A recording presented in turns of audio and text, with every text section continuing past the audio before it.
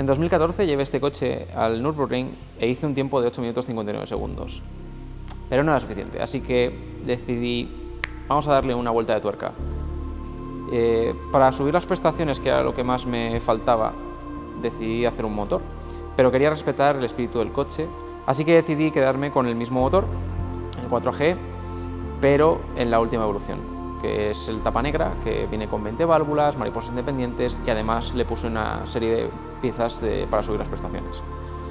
Como era una tarea bastante complicada, no sabía a quién llevarle este proyecto. Al final encontré, con mucha suerte, a Isla Racing, que es un preparador de las Islas Canarias, Luis Geray, que es un auténtico artista y ha hecho un trabajo fantástico con este motor.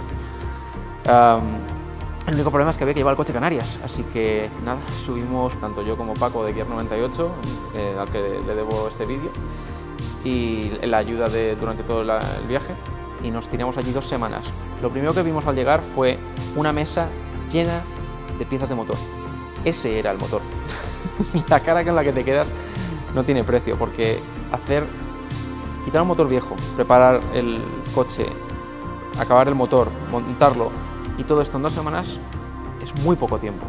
Entonces eh, fue un desafío desde el primer día y no contentos con eso tuvimos muchos problemas durante toda la construcción. Si habéis seguido los vídeos en directo lo habréis visto más eh, en detalle.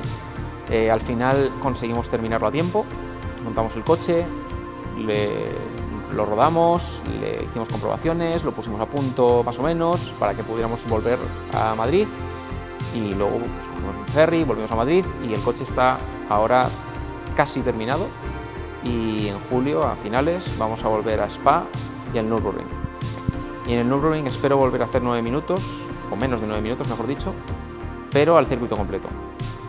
Y lo que viene siendo unos 30-40 segundos más rápido que la anterior vez, que es bastante diferencia, pero si fuera fácil no estaríamos aquí haciéndolo.